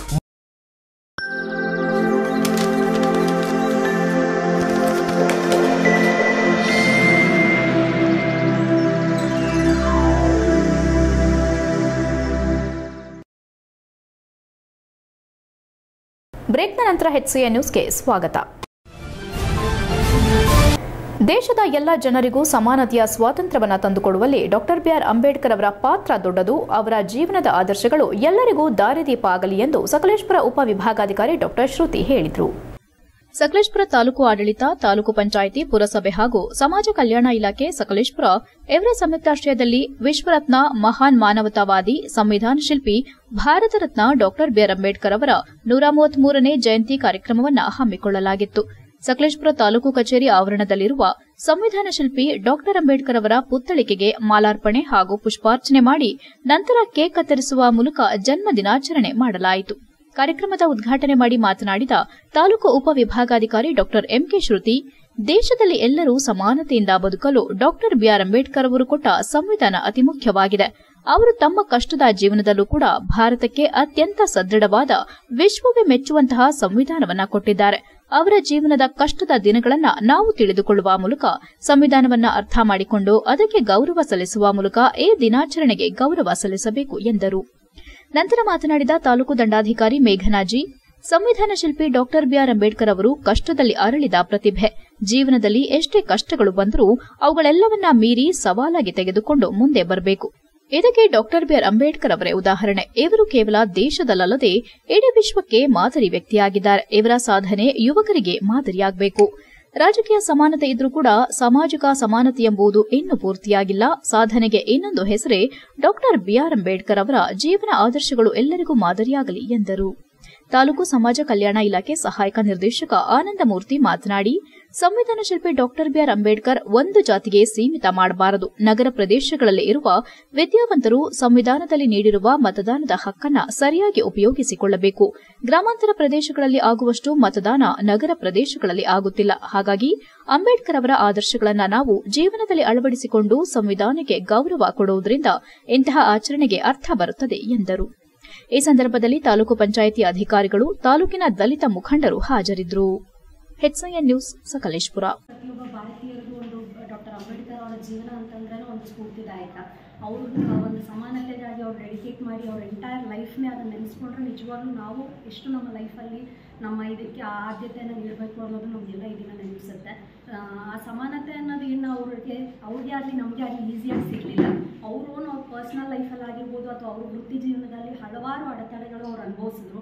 But ಯಾವತ್ತೂ ಸಹ ಅವ್ರು ಒಂದು ಹಿಂದೇಟ್ ಹಾಕಲಿಲ್ಲ. ಯಾಕೆ ನಾನು ಇದ್ರ ವಿರುದ್ಧವಾಗಿ ಹೋರಾಡಬೇಕು ಅನ್ನೋದು ಹಿಂದೇಟ್ ಹಾಕಲಿಲ್ಲ. ಅಷ್ಟೇ ಧೈರ್ಯದಿಂದ ಹೋರಾಡಿ ಒಂದು ನಮಗೆ ಇಡೀ ವಿಶ್ವನೇ ಮೆಚ್ಚುವಂಥ ಒಂದು ಸಂವಿಧಾನ ನೀಡಿದ್ರು ನಿಜವಾಗ್ಲೂ ಈ ದಿನಕ್ಕೆ ನಾವು ಒಂದು ಅರ್ಥಪೂರ್ವಕವಾಗಿ ಗೌರವ ಕೊಡಬೇಕು ಅಂದರೆ ಆ ಸಂವಿಧಾನದಲ್ಲಿರುವಂಥ ಮೌಲ್ಯಗಳನ್ನು ನಾವೆಲ್ಲ ಅಳವಡಿಸ್ಕೊಳ್ಬೇಕು. ಅವರೇನು ಶಿಕ್ಷಣಕ್ಕೆ ಆದ್ಯತೆ ನೀಡಿದ್ರು, ಅದೇ ರೀತಿಯಾಗಿ ನಾವು ಆದ್ಯತೆ ನೀಡಿ ಪ್ರತಿಯೊಬ್ಬರಿಗೂ ಸಹ ಈ ಜಾತಿ, ಭೇದ ಭಾವ ಅವೆಲ್ಲ ಮರೆತು ಎಲ್ಲರಿಗೂ ಒಂದು ಆದ್ಯತೆ ನೀಡಿ ಒಂದು ಸಾಧನೆಗೆ ಇನ್ನೊಂದು ಹೆಸರೇ ಡಾಕ್ಟರ್ ಬಿ ಆರ್ ಅಂಬೇಡ್ಕರ್ ಅವರು. ಇವರು ನಮ್ಮ ಭಾರತ ದೇಶಕ್ಕಲ್ಲ, ಇಡೀ ವಿಶ್ವಕ್ಕೆ ಒಂದು ಮಾದರಿಯಾಗಿದ್ದಾರೆ. ನಮ್ಮ ಭಾರತ ದೇಶದ ಸಂವಿಧಾನವನ್ನು ಒಂದು ವಿಶ್ವಕ್ಕೆ ಮಾದರಿಯಾಗಿ ಇವರು ರೂಪಿಸ್ಕೊಟ್ಟಿದ್ದಾರೆ. ಅಂಥದ್ರಲ್ಲಿ ಇವರು ಎಷ್ಟು ಕಷ್ಟಪಟ್ಟು, ಇವರು ಕಷ್ಟದಲ್ಲಿ ಅರಳಿದ ಪ್ರತಿಮೆ ಅಂತಲೇ ಅನ್ಬೋದು ಇವರು ಇವರು ಜೀವನದಲ್ಲಿ ಏನೇನು ಸಾಧನೆಗಳು ಮಾಡಿದ್ದಾರೆ ಅದು ನಮ್ಮ ಯುವಕರಿಗೆ ಸ್ಫೂರ್ತಿ ಆಗಬೇಕು. ಇವ್ರ ಜೀವನದ ತತ್ವ, ವಿಚಾರಗಳು ನಾವು ಸ್ಫೂರ್ತಿಯಾಗಿ ತಗೊಂಡು ನಮ್ಮ ಜೀವನದಲ್ಲಿ ಅಳವಡಿಸ್ಕೊಡ್ಬೇಕು. ಈಗ ರಾಜಕೀಯ ಸಮಾನತೆ ಎಲ್ರಿಗೂ ನಮ್ಮ ದೇಶದಲ್ಲಿದೆ. ಆದರೆ ಸಾಮಾಜಿಕ ಸಮಾನತೆ ಅನ್ನೋದು ಇನ್ನೂ ಆದ್ರೆ ನಾವು ಗಮನಿಸಬೇಕಾಗುತ್ತೆ, ಪ್ರತಿ ಸೆಕೆಂಡ್ಗೂ ಕೂಡ ಗೌರವಕ್ಕೆ ಪಾತ್ರರಾಗ್ತಿರ್ತಕ್ಕಂಥ ಡಾಕ್ಟರ್ ಬಿ ಆರ್ ಅಂಬೇಡ್ಕರ್ ಅಂತ ಅಂದ್ರೆ ಏನು? ಅದೊಂದು ಶಕ್ತಿ. ಆ ಶಕ್ತಿ ಯಾವ ರೀತಿಯಲ್ಲಿ ಬಂತು? ನಾವು ಗಮನಿಸಬೇಕಾಗುತ್ತೆ, ಬಾಬಾ ಸಾಹೇಬ್ ಅಂಬೇಡ್ಕರ್ ಅವರು ಜನಿಸಿದಂತ ಸಂದರ್ಭದಲ್ಲಿ, ಹಾಗೆ ಅವರು ಜೀವಿಸಿದಂತ ಸಂದರ್ಭದಲ್ಲಿ ಭಾರತದಲ್ಲಿದ್ದಂತ ಒಂದು ಪರಿಸ್ಥಿತಿಯನ್ನ ನಾವು ಗಮನಿಸಬೇಕಾಗುತ್ತೆ. ಅಂದಿನ ಪರಿಸ್ಥಿತಿಯಲ್ಲಿ ಅಸಮಾನತೆಯ ಒಂದು ಪರಿಸ್ಥಿತಿ ಇತ್ತು, ಜಾತೀಯತೆಯ ಒಂದು ಸನ್ನಿವೇಶ ಇತ್ತು. ಈ ಎಲ್ಲಾ ಸನ್ನಿವೇಶಗಳಲ್ಲೂ ಕೂಡ ಬಾಬಾ ಸಾಹೇಬ್ ಅಂಬೇಡ್ಕರ್ ಅವರು ಜೀವಿಸಿದಂಥದ್ದು ಬಹಳ ಕಷ್ಟಕರವಾದಂತಹ ಜೀವನವನ್ನ ನಡೆಸ್ತಾ ಬಂದರು. ಅಂದ್ರೆ ನಾವು ಗಮನಿಸಬೇಕಾಗುತ್ತೆ, ಇವತ್ತು ನಮ್ಮ ಮೇಡಮ್ ಅವರು ಹೇಳ್ತಿದ್ರು, ಭಾರತ ದೇಶದ ಒಂದು ಸಂವಿಧಾನ ನಿಜವಾಗ್ಲೂ ಕೂಡ ಒಂದು ಭಾರತ ದೇಶದ ಒಂದು ಧರ್ಮ ಗ್ರಂಥವಾಗಿ ಇವತ್ತು ಮಾರ್ಪಟ್ಟಿದೆ ಅಂತ. ನಾವು ಗಮನಿಸಬೇಕಾಗತ್ತೆ. ಏನಂತ ಅಸ್ಪೃಶ್ಯತೆ ಮತ್ತು ಅಸಮಾನತೆಯ ಆಂದೋಲನ ಪ್ರಾರಂಭಿಸಿ ಶೋಷಿತ ವರ್ಗಕ್ಕೆ ನ್ಯಾಯ ಒದಗಿಸಲು ಹೋರಾಟ ನಡೆಸಿದ ದೇಶದ ಮಹಾನಾಯಕ ಭಾರತ ರತ್ನ ಡಾಕ್ಟರ್ ಬಾಬಾ ಸಾಹೇಬ್ ಅಂಬೇಡ್ಕರ್ ಎಂದು ಶಾಸಕ ಎಚ್ ಕೆ ಸುರೇಶ್ ಹೇಳಿದರು. ಬೇಲೂರು ಪಟ್ಟಣದ ಅಂಬೇಡ್ಕರ್ ವೃತ್ತದ ಬಳಿಯಿರುವ ಅಂಬೇಡ್ಕರ್ ಪುತ್ಥಳಿಗೆ ಪೂಜೆ ಸಲ್ಲಿಸಿ ಪುಷ್ಪಾಂಜಲಿ ಅರ್ಪಿಸಿ ನೂರ ಮೂವತ್ಮೂರನೇ ಜಯಂತ್ಯೋತ್ಸವ ಆಚರಿಸಿದ್ರು. ಇದೇ ವೇಳೆ ಮಾತನಾಡಿದ ಶಾಸಕ H K Suresh, doctor Baba Saheb Ambedkar ಅವರು ಯಾವುದೇ ಒಂದು ಸಮುದಾಯಕ್ಕೆ ಸೀಮಿತರಲ್ಲ. ಅವರು ದೇಶಕ್ಕೆ ಸಂವಿಧಾನವನ್ನ ನೀಡಿದ ಸಮಿತಿಯ ಅಧ್ಯಕ್ಷರಾಗಿ, ಸಮಾಜಶಾಸ್ತ್ರಜ್ಞರಾಗಿ, ಅರ್ಥಶಾಸ್ತ್ರಜ್ಞರಾಗಿ, ಇತಿಹಾಸಕಾರರಾಗಿ ಹೇಗೆ ಅವರಿಗೆ ತಿಳಿಯದ ಕ್ಷೇತ್ರವಿಲ್ಲ ಎಂದು ನುಡಿದರು. ಹಿಂದುಳಿದವರನ್ನ ಸಮಾಜದ ಮುಖ್ಯ ವಾಹಿನಿಗೆ ಕರೆತರುವ ಎಲ್ಲರ ಜೊತೆಗೆ ಕರೆದೊಯ್ಯುವ ಉದ್ದೇಶ ಅವರದಾಗಿತ್ತು. ಡಾಕ್ಟರ್ ಅಂಬೇಡ್ಕರ್ ಅವರು ಇಡೀ ವಿಶ್ವಕ್ಕೆ ಮಾದರಿ, ಎಲ್ಲರೂ ಸಮಾನವಾಗಿ ಸಮಾನತೆಯಿಂದ ಬಾಳಬೇಕು, ಬದುಕಬೇಕು ಮತ್ತು ಎಲ್ಲರನ್ನ ಬದುಕಲು ಬಿಡಬೇಕೆಂಬುದೇ ಈ ಮಹಾತ್ಮರ ಧ್ಯೇಯವಾಗಿತ್ತು. ಶಾಂತಿ ಸೌಹಾರ್ದತೆ ಕೊಡುವುದರ ಮುಖಾಂತರ ನಾವೆಲ್ಲರೂ ಅವರ ಆದರ್ಶವನ್ನ ತಮ್ಮ ಜೀವನದಲ್ಲಿ ಅಳವಡಿಸಿಕೊಳ್ಳಬೇಕು, ಎಂದರು. ತೆಂಗು ಮತ್ತು ನಾರು ಅಭಿವೃದ್ಧಿ ನಿಗಮದ ರಾಷ್ಟ್ರೀಯ ನಿರ್ದೇಶಕ ಬೆನ್ನೂರು ರೇಣುಕುಮಾರ್ ಮಾತನಾಡಿ ಅಂಬೇಡ್ಕರ್ ಎಂಬ ಮಹಾನ್ ಚೇತನ ಸಂಘರ್ಷದ ಅನುಭವದಿಂದ ಹುಟ್ಟಿಕೊಂಡ ವ್ಯಕ್ತಿತ್ವ. ಅವರ ಮನಸ್ಸಿನಲ್ಲಿ ಅಂದು ಮೂಡಿದ ಸಮಾನತೆಯ ಪ್ರಜ್ಞೆ ಭವ್ಯ ಭಾರತಕ್ಕೆ ಬಲಿಷ್ಠ ಸಂವಿಧಾನವನ್ನು ನೀಡುವಂತೆ ಪ್ರೇರೇಪಿಸಿತು. ಎಲ್ಲ ಜಾತಿ ವರ್ಗ ಮೀರಿದಂತೆ ಕೊಡುಗೆ ಕೊಟ್ಟಂತಹ ಮಹಾನ್ ವ್ಯಕ್ತಿ ಎಂದರೆ ಅದು ಡಾಕ್ಟರ್ ಬಾಬಾ ಸಾಹೇಬ್ ಅಂಬೇಡ್ಕರ್ ಎಂದು ತಿಳಿಸಿದರು. ಈ ಸಂದರ್ಭದಲ್ಲಿ ಮುಖಂಡರಾದ ಮರಿಯಪ್ಪ, ಪರ್ವತಯ್ಯ, ಸತೀಶ್, ಸಂತೋಷ್ ತೆಂಡೆಕೆರೆ ರಮೇಶ್, ರವಿ ನಾಗೇಶ್ ಯಾದವ್ ಇತರರು ಹಾಜರಿದ್ದರು ನ್ಯೂಸ್, ಬೇಲೂರು. ನಾಲ್ಕನೇ ವರ್ಷದ ಬಾಬಾ ಸಾಹೇಬ್ ಅಂಬೇಡ್ಕರ್ ಅವರ ಜಯಂತಿಗೆ ಬೇಲೂರಿನ ಎಲ್ಲ ಸಮಸ್ತ ಬಂಧುಗಳಿಗೆ ಶುಭಾಶಯನ್ನು ಕೊಡ್ತಾ ವಿಶೇಷವಾಗಿ ಈ ದಿವಸವನ್ನು ಸಮಾನತೆ ದಿನ ಅಂತಕ್ಕಂಥದ್ದನ್ನು ಈ ವಿಶ್ವಕ್ಕೆ ಕೊಟ್ಟಂಥ ವಿಶ್ವನಾಯಕ ಡಾಕ್ಟರ್ ಬಾಬಾ ಸಾಹೇಬ್ ಅಂಬೇಡ್ಕರ್ ಅಂತಕ್ಕಂಥದ್ದನ್ನು ಈ ಸಂದರ್ಭದಲ್ಲಿ ನಾವು ನೆನಪಿಸ್ಕೊಳ್ಬೇಕಾಗುತ್ತೆ. ಇವತ್ತು ಶಾಂತಿ ಸುವಾರ್ಧತೆಯನ್ನು ಕಾಪಾಡೋದು ಮುಖಾಂತರ ಸಂವಿಧಾನವನ್ನು ಕೊಟ್ಟಂಥ ಡಾಕ್ಟರ್ ಬಾಬಾ ಸಾಹೇಬ್ ಅಂಬೇಡ್ಕರ್ ಅವರು, ಇವತ್ತು ಯಾವುದೇ ಒಬ್ಬ ಮಹಿಳೆಗಿರ್ಬೋದು, ಎಲ್ಲ ಸರಿ ಸಮಾನವಾದ ನ್ಯಾಯವನ್ನು ಕೊಟ್ಟಂತಹ ಈ ದೇಶಕ್ಕೆ ಒಬ್ಬನೇ ಒಬ್ಬ ವ್ಯಕ್ತಿ ಬಾಬಾ ಸಾಹೇಬ್ ಅಂಬೇಡ್ಕರ್ ಅಂತಕ್ಕಂಥದ್ದನ್ನು ಚನ್ನರಾಯಪಟ್ಟಣದ ಗೌಡಗೆರೆ ಗ್ರಾಮ ಪಂಚಾಯಿತಿಯ ಮಾಜಿ ಅಧ್ಯಕ್ಷರು ಹಾಗೂ ಉಪಾಧ್ಯಕ್ಷರು ಮತ್ತು ಗ್ರಾಮ ಪಂಚಾಯಿತಿ ಹಾಲಿ ಉಪಾಧ್ಯಕ್ಷರು ಹಾಗೂ ಸದಸ್ಯರು ಕಾಂಗ್ರೆಸ್ ಪಕ್ಷವನ್ನು ತೊರೆದು ಗೌಡಗೆರೆ ಗ್ರಾಮದ ಮುಖಂಡ ಪ್ರಕಾಶ್ ಮತ್ತು ಗ್ರಾಮ ಪಂಚಾಯಿತಿ ಉಪಾಧ್ಯಕ್ಷ ನಟರಾಜ್ ನೇತೃತ್ವದಲ್ಲಿ ಶಾಸಕ ಬಾಲಕೃಷ್ಣ ಸಮ್ಮುಖದಲ್ಲಿ ಜೆಡಿಎಸ್ ಪಕ್ಷವನ್ನ ಸೇರ್ಪಡೆಗೊಂಡರು. ಜೆಡಿಎಸ್ ಪಕ್ಷಕ್ಕೆ ಸೇರ್ಪಡೆಗೊಂಡ ಮುಖಂಡರನ್ನ ಸ್ವಾಗತ ಮಾಡಿ ಮಾತನಾಡಿದ ಬಾಲಣ್ಣನವರು ನಮ್ಮ ಜೆಡಿಎಸ್ ಪಕ್ಷದ ಸಿದ್ಧಾಂತಗಳನ್ನು ಒಪ್ಪಿಕೊಂಡು ದೇವೇಗೌಡರ ನಾಯಕತ್ವ, ಕುಮಾರಸ್ವಾಮಿ ಅವರ ಜನಪ್ರಿಯ ಕಾರ್ಯಕ್ರಮಗಳನ್ನು ಮೆಚ್ಚಿಕೊಂಡು ಹಾಸನ ಕ್ಷೇತ್ರದ ಎನ್ಡಿಎ ಅಭ್ಯರ್ಥಿ ಪ್ರಜ್ವಲ್ ರೇವಣ್ಣ ಅವರನ್ನ ಎರಡನೇ ಬಾರಿಗೆ ಸಂಸತ್ ಸದಸ್ಯರಾಗಿ ಆಯ್ಕೆ ಮಾಡಬೇಕೆಂಬ ಉದ್ದೇಶದಿಂದ ಈ ದಿನ ಗೌಡಗೆರೆಯ ಹಿರಿಯ ನಾಯಕ ಬೋರೇಗೌಡ ನಾಯಕತ್ವದಲ್ಲಿ ನೂರಾರು ಸಂಖ್ಯೆಯ ಮುಖಂಡರು ಜೆಡಿಎಸ್ ಪಕ್ಷಕ್ಕೆ ಸೇರ್ಪಡೆಗೊಂಡಿರುವುದು ನಮಗೆ ಆನೆ ಬಲ ಬಂದಂತಾಗಿದೆ ಎಂದರು. ಈ ಪಕ್ಷಕ್ಕೆ ಸೇರ್ಪಡೆಗೊಂಡ ಎಲ್ಲಾ ಮುಖಂಡರನ್ನ ಉತ್ತಮ ರೀತಿಯಲ್ಲಿ ನಡೆಸಿಕೊಂಡು ಹೋಗುತ್ತೇವೆ ಎಂದು ಭರವಸೆ ನೀಡಿದರು. ನಮ್ಮ ಜೆಡಿಎಸ್ ಪಕ್ಷದ ತತ್ವ ಸಿದ್ಧಾಂತಗಳನ್ನ, ಅಭಿವೃದ್ಧಿಯ ಯೋಜನೆಗಳನ್ನ ಮನದಟ್ಟು ಮಾಡಿಕೊಂಡು ಈ ದಿನ ನೂರಾರು ಸಂಖ್ಯೆಯಲ್ಲಿ ಮುಖಂಡರು ಹಲವಾರು ಪಕ್ಷಗಳನ್ನ ತೊರೆದು ಜೆಡಿಎಸ್ ಪಕ್ಷಕ್ಕೆ ಸೇರ್ಪಡೆಗೊಳ್ಳುತ್ತಿರುವುದು ಪ್ರಜ್ವಲ್ ರೇವಣ್ಣನವರ ಗೆಲುವಿಗೆ ಮುನ್ಸೂಚನೆಯಾಗಿದೆ ಎಂದು ಹೇಳಿದರು. ಏಪ್ರಿಲ್ ಹತ್ತೊಂಬತ್ತರಂದು ಗೌಡಗೆರೆಯಲ್ಲಿ ನಡೆಯಲಿರುವ ಎನ್ಡಿಎ ಪಕ್ಷದ ಮೈತ್ರಿ ಅಭ್ಯರ್ಥಿಯ ಪರವಾಗಿ ಚುನಾವಣಾ ಪ್ರಚಾರದಲ್ಲಿ ಗೌಡಗೆರೆ ಗ್ರಾಮ ಪಂಚಾಯಿತಿಯ ವ್ಯಾಪ್ತಿಯ ಕಾಂಗ್ರೆಸ್ ಪಕ್ಷದ ಮುಖಂಡರು ಜೆಡಿಎಸ್ ಪಕ್ಷಕ್ಕೆ ಸೇರ್ಪಡೆಗೊಳ್ಳಲಿದ್ದಾರೆ ಎಂದು ತಿಳಿಸಿದರು. ಜೆಡಿಎಸ್ ಪಕ್ಷಕ್ಕೆ ಸೇರ್ಪಡೆಗೊಂಡ ಗೌಡಗೆರೆ ಗ್ರಾಮ ಪಂಚಾಯಿತಿ ಉಪಾಧ್ಯಕ್ಷರಾದ ನಟರಾಜ್ ಮಾತನಾಡಿ, ಕಳೆದ ಹತ್ತು ವರ್ಷಗಳಿಂದ ಕಾಂಗ್ರೆಸ್ ಪಕ್ಷದ ಮುಖಂಡರಾಗಿ ಬಾಲಕೃಷ್ಣರ ವಿರೋಧವಾಗಿ ಕೆಲಸ ಮಾಡಿದರೂ ಸಹ ಇದನ್ನ ಯಾವುದನ್ನು ಮನದಲ್ಲಿಟ್ಟುಕೊಳ್ಳದೆ ನಮ್ಮ ಎಲ್ಲಾ ಕೆಲಸ ಕಾರ್ಯಗಳನ್ನು ಪೂರ್ಣ ಪ್ರಮಾಣದಲ್ಲಿ ಮಾಡಿಕೊಟ್ಟಿರುತ್ತಾರೆ ಎಂದರು. ಇದೇ ಸಂದರ್ಭದಲ್ಲಿ ಜೆಡಿಎಸ್ ಪಕ್ಷದ ಮುಖಂಡರಾದ ಕಗ್ಗೆರೆ ನಾಗೇಂದ್ರಬಾಬು, ಬೋರೇಗೌಡ, ಗೌಡಗೆರೆ ಪ್ರಕಾಶ್, ಗೌಡಗೆರೆ ನಟರಾಜ್, ಶ್ರೀನಿವಾಸ್, ಲೋಕಿ, ರಾಜೇಶ್ ಎಂಡಿಕುಮಾರ್ ಮಂಜು, ಅವಿನಾಶ್, ಅಣ್ಣಪ್ಪ, ಕಾರ್ತಿಕ್, ವಸಂತ್, ವೆಂಕಟೇಶ್, ರಮೇಶ್ ನಾಯಕ್, ಸತೀಶ್ ಸೇರಿದಂತೆ ಇನ್ನಿತರರು ಹಾಜರಿದ್ದರು. ನ್ಯೂಸ್ ಚನ್ನರಾಯಪಟ್ಟಣ. ಗೌಡಗೆರೆ ಗ್ರಾಮದ ನಮ್ಮ ಪಕ್ಷದ ಮುಖಂಡರಾದಂಥ ಬೋರೇಗೌಡ್ರೆ, ಈ ಒಂದು ಶುಭ ದಿವಸ ಗೌಡಗೆರೆನಲ್ಲಿ ಗ್ರಾಮ ಪಂಚಾಯಿತಿಯ ಗೌರವಾನ್ವಿತ ಸದಸ್ಯರುಗಳು ಹಾಗೂ ಅನೇಕ ಮುಖಂಡರುಗಳು ಇವತ್ತು ಅಧಿಕೃತವಾಗಿ ಇವತ್ತು ಜೆ ಡಿ ಎಸ್ ಪಕ್ಷಕ್ಕೆ ಸೇರ್ಪಡೆಗೊಂಡಿದ್ದಾರೆ. ಈ ಸಂದರ್ಭದಲ್ಲಿ ಅವರೆಲ್ಲರಿಗೂ ಕೂಡ ಕ್ಷೇತ್ರದ ಶಾಸಕರಾಗಿ ಪಕ್ಷದ ವತಿಯಿಂದ ಹೃದಯಪೂರ್ವಕವಾದಂಥ ಸ್ವಾಗತವನ್ನು ಕೋರುತ್ತಾ ಇವತ್ತು ಪ್ರಕಾಶ್ ಇದು ನಟರಾಜ್ ಅವರು ಗ್ರಾಮ ಪಂಚಾಯತಿ ಉಪಾಧ್ಯಕ್ಷರು ಪ್ರಕಾಶ್ ಅವರು ಗ್ರಾಮ ಪಂಚಾಯತಿಯ ಸದಸ್ಯರು ಜಯಮ್ಮ ರಂಗೇಗೌಡರು ಗ್ರಾಮ ಪಂಚಾಯತಿಯ ಗೌರವಾನ್ವಿತ ಸದಸ್ಯರು. ಹೆಚ್ಚಿನ ನ್ಯೂಸ್ನಲ್ಲೀಗ ಒಂದು ಪುಟ್ಟ ಬ್ರೇಕ್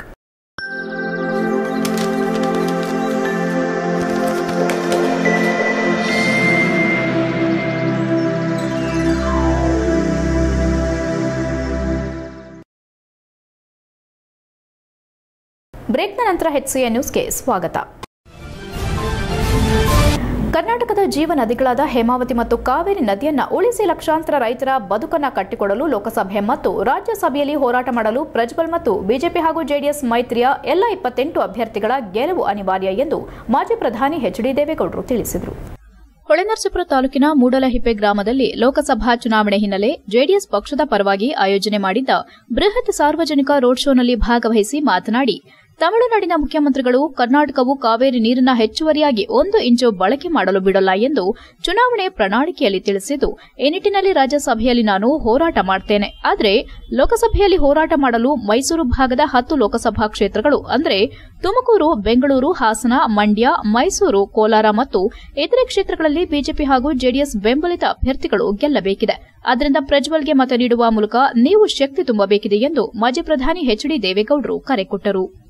ಕರ್ನಾಟಕ ರಾಜ್ಯ ಸರ್ಕಾರವು ಎಡದಂಡೆ ಬಲದಂಡೆ ನಾಲಿಯಲ್ಲಿ ಹಾಸನ ಜಿಲ್ಲೆಯ ರೈತರಿಗೆ ನೀರನ್ನು ಹರಿಸಬಾರದೆಂಬ ಕಟ್ಟಾಜ್ಞೆ ಮಾಡಿದ್ದಾರೆ. ತುಮಕೂರು ಜಿಲ್ಲೆಯ ಭಾಗಕ್ಕೆ ಹರಿಯಲು ಬಿಟ್ಟಿದ್ದಾರೆ. ಅವರು ನಮ್ಮ ರೈತರೇ. ಆದರೆ ಇಲ್ಲಿ ನಮ್ಮ ರೈತರ ಭತ್ತ ಒಣಗುತ್ತಿರುವ ಸಂದರ್ಭ ಧ್ವನಿ ಎತ್ತಿ ಹೋರಾಟ ಮಾಡಬೇಕಿದೆ. ಈ ವಯಸ್ಸಿನಲ್ಲೂ ನರೇಂದ್ರ ಮೋದಿ ಮತ್ತು ಜಲ ಸಂಪನ್ಮೂಲ ಸಚಿವರ ಜೊತೆಗೆ ಉತ್ತಮ ಒಡನಾಟ ಇಟ್ಟುಕೊಂಡು ಜನರ ಸಮಸ್ಯೆಗೆ ಸ್ಪಂದಿಸುವ ಕಾರ್ಯ ಮಾಡಲಾಗುತ್ತಿದೆ. ಹೇಮಾವತಿ ಹಾಗೂ ಕಾವೇರಿ ನದಿಗಳು ನಮ್ಮದು. ಹಾಸನ ಜಿಲ್ಲೆಯ ಎರಡು ಲಕ್ಷ ಎಕರೆ ಭೂಮಿ ಮುಳುಗಡೆಯಾಗಿದೆ ಮತ್ತು ನಮ್ಮ ಹಣದಲ್ಲಿ ಜಲಾಶಯ ಕಟ್ಟಿದ್ದು ಬಿಡಲ್ಲ ಅಂತ ಹೇಳಲು ಅವರ್ಯಾರು ಮುಂದಿನ ದಿನಗಳಲ್ಲಿ ಹಾಸನ ಜಿಲ್ಲೆಯ ಜನತೆಗಾಗುವ ಅನ್ಯಾಯವನ್ನ ಸರಿಪಡಿಸಲು ಶಕ್ತಿ ಮೀರಿ ಹೋರಾಟ ಮಾಡುವ ಜೊತೆಗೆ ತಲೆ ಎತ್ತಿ ನಿಲ್ಲಲು ಮತ್ತು ನನಗೆ ವೈಯಕ್ತಿಕ ಶಕ್ತಿ ತುಂಬಲು ಪ್ರಜ್ವಲ್ ಗೆಲ್ಲಬೇಕು. ಆದ್ದರಿಂದ ಮುಂದಿನ ಲೋಕಸಭಾ ಚುನಾವಣೆಯಲ್ಲಿ ಪ್ರಜ್ವಲ್ ಅವರನ್ನ ನೀವು ಆಯ್ಕೆ ಮಾಡಿ ಕಳುಹಿಸಬೇಕಿದೆ ಮತ್ತು ಮೋದಿ ಅವರಿಗೆ ನಿಮಗಾಗಿ ಹಾಸನದ ಜನತೆಗೆ ಪ್ರಜ್ವಲ್ ಅವರನ್ನ ಗೆಲ್ಲಿಸಿ ಕಳುಹಿಸಿದ್ದಾರೆ ಎಂದು ಹೇಳಬೇಕಿದೆ ಎಂದರು. ವಿಧಾನ ಪರಿಷತ್ ಸದಸ್ಯ ಡಾ. ಸೂರಜ್ ರೇವಣ್ಣ ಮಾತನಾಡಿ ಸಣ್ಣಪುಟ್ಟ ವೈಮನಸ್ಸು ಬಿಟ್ಟು ಸಾರ್ವಜನಿಕ ಹಾಗೂ ನಿಮ್ಮ ವೈಯಕ್ತಿಕ ಸಮಸ್ಯೆಗೆ ನಿಮ್ಮ ಜೊತೆ ನಾವಿರುತ್ತೇವೆ. ಆದ್ದರಿಂದ ಬಿಜೆಪಿ ಬೆಂಬಲಿತ ಜೆಡಿಎಸ್ ಅಭ್ಯರ್ಥಿ ಪ್ರಜ್ವಲ್ ಅವರಿಗೆ ಮತ ನೀಡಬೇಕೆಂದು ವಿನಂತಿಸುತ್ತೇವೆ ಎಂದರು. ತಾಲೂಕು ಪಂಚಾಯಿತಿ ಮಾಜಿ ಅಧ್ಯಕ್ಷ ಮಲ್ಲಿಕಾರ್ಜುನ್ ಅವರು ಮಾತನಾಡಿದರು ರೋಡ್ ಶೋನಲ್ಲಿ ನೂರಾರು ಕಾರ್ಯಕರ್ತರು ದೇವೇಗೌಡರಿಗೆ ಜೈಕಾರ ಹಾಕುತ್ತಾ ಸಾಗಿದ್ರು ಹೆಚ್ಐಎ ನ್ಯೂಸ್ ಹೊಳೆನರಸೀಪುರ